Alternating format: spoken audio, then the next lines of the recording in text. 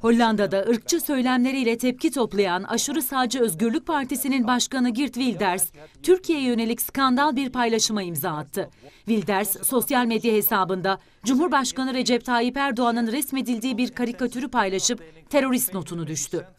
Bunu hiçbir zaman unutmayacağım. Wilders'e ilk tepki AK Parti sözcüsü Ömer Çelik'ten geldi. Çelik, bu ahlaksız faşistlerle mücadele etmek insanlık görevidir dedi. Paylaşımında terörist Geert Wilders etiketini kullanan Çelik, niyetleri Suriye'de, Libya'da mazlumların kanını dökmektir. Bu faşistlerle mücadele edeceğiz. Bu mücadeleyi insanlık adına yükselteceğiz ifadelerine yer verdi.